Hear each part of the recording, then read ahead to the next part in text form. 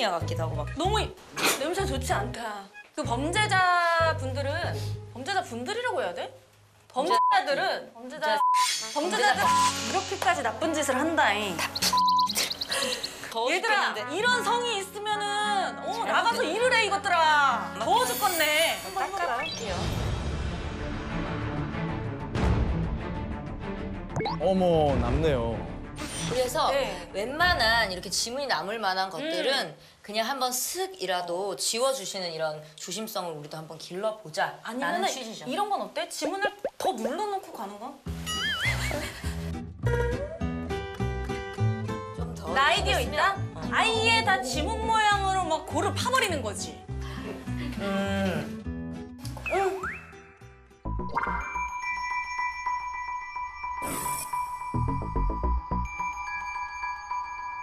일단 두 번째 한번 살펴볼게요. 사용하는 도어락의 마스터 비밀번호를 확인하고 삭제한다. 마스터 비밀번호요. 저도 이번에 안 사실인데 큰 건물들 이렇게 지을 때 시공업체 있잖아요. 네네. 임의적으로 마스터 번호를 설정해 놓는다 그래요. 비밀번호를. 사실 이 집에도 그 비밀번호가 설정이 되어 있을 수도 있는 것이야. 아, 최근에는 어, 마스터 비밀번호를 이용해서 일어난 범죄도 있다고. 야 저것도 이용을 합니까? 근데 이거는 정말 저도 처음 알았고 치타 씨도 몰랐잖아요. 그래서 한번 그런데- 여기는 있느냐. 그런데 일단 네. 이 도어락은 저희가 2, 0, 1, 9로 설정을 해놨어요. 음, 열리죠? 열렸습니다. 아, 시원해. 한번 쐬고요. 지금 마스터 비밀번호를 한번 확인하기 위해서 아, 나 가장 떨려. 쉬운 어. 일단 0000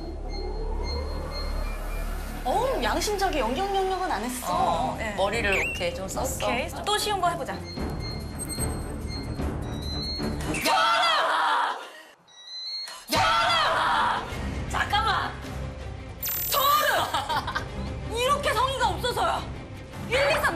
아니 근데 웬만하면 그래도 이거라든지 이것도 양심 없- 어? 주거자가 이걸 모른다. 각자의 그냥 개인적인 비밀번호만 설정했을 때는 음. 이 마스터 비밀번호 아직 살아있는 거예요. 그치 그치. 네. 네. 여러분 이거를 변경하고 삭제하는 방법을 알아보시길 어, 바라겠습니다. 아 근데 우리가 하면서 계속 느끼는 거지만 이렇게까지 꼭 해야 하나? 울분이 터지고. 언제까지 우리만 이걸 경계를 해야 되냐? 음. 그런 부분이 혼자 집으로 향하는 여성들이 얼마나 더 불안해야 하는지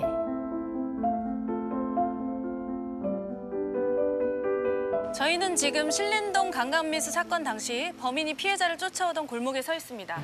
사건의 피의자는 CCTV가 명백한 범행을 증명하고 있음에도 여전히 혐의를 두고 재판 중에 있습니다. 오늘 밤 귀갓길이 두려워지는 막 나가는 뉴스 까칠한 취재의 취기자 제 기자였습니다 감사합니다.